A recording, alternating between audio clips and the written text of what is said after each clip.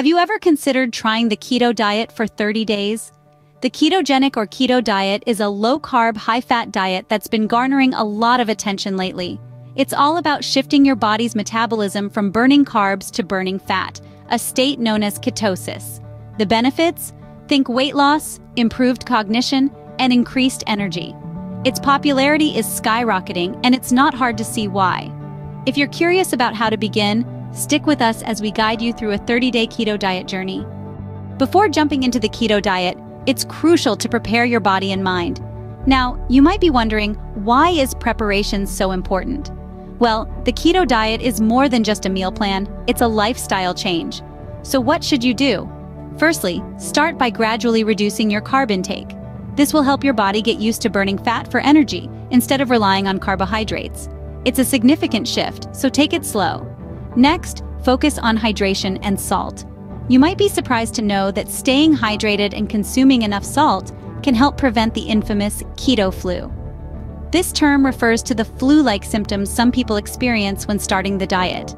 These symptoms arise due to dehydration and low salt levels, so keep that water bottle and salt shaker handy.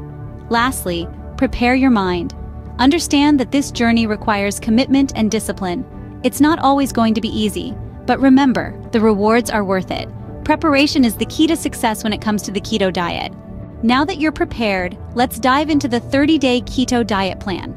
This journey will be a transformation, not just of your body, but of your understanding of nutrition. Day 1 through 5, it's all about acclimating your body to a new fuel source. Your meals will revolve around lean proteins like chicken or fish, healthy fats from avocados, olive oil, and nuts, and an array of low-carb veggies like spinach, broccoli, and zucchini.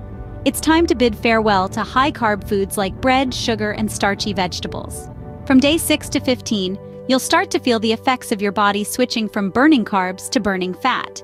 Continue with the protein, healthy fats, and low-carb vegetables, but now you can introduce a wider variety of foods. Think along the lines of eggs, cheese, and even dark chocolate. As you transition into day 16 to 25, you're becoming a fat-burning machine. It's crucial, though, that you maintain balance in your diet. Protein is key to preserving muscle mass, while the healthy fats and vegetables provide essential nutrients and fiber. In the final stretch, day 26 to 30, you're not just surviving on a keto diet, you're thriving. You've learned to listen to your body's needs and to nourish it accordingly. This is the time to experiment with keto-friendly versions of your favorite foods. Cauliflower pizza crust, anyone? Remember, this plan isn't about deprivation, it's about balance and choice. There will be challenging days, and that's okay. Every journey has its ups and downs. What matters is that you stay committed, knowing that this is a lifestyle change, not just a temporary diet. And don't forget, hydration is key throughout this process. Drink plenty of water and feel free to enjoy beverages like green tea and black coffee. Following this plan will set you on the path to achieving a successful keto diet journey. Remember, a healthier you is not just about losing weight, it's about gaining a better quality of life. Congratulations on completing the 30-day keto diet, but what's next? Now that you've successfully navigated your way through a month of a low-carb lifestyle, you might be wondering where to go from here. The world of post-keto possibilities is vast and varied. Some people choose to continue with the keto diet, finding that it suits their lifestyle and health goals perfectly. They've grown accustomed to the low-carb, high-fat meals and enjoy the benefits of increased energy and improved focus. On the other hand, others may slowly reintroduce carbs back into their diet. It's all about balance and moderation. A gradual reintroduction of carbs can help avoid any sudden shocks to the system, while still maintaining the benefits you've gained over the past month. But most importantly, always remember to listen to your body. Your body knows what it needs, and it's crucial to make decisions based on how you feel. Remember, the goal is to find a sustainable approach to eating that makes you feel your best. So, are you ready to take the Keto Diet Challenge? It's a journey that could transform your life, and we're here to guide you through every step.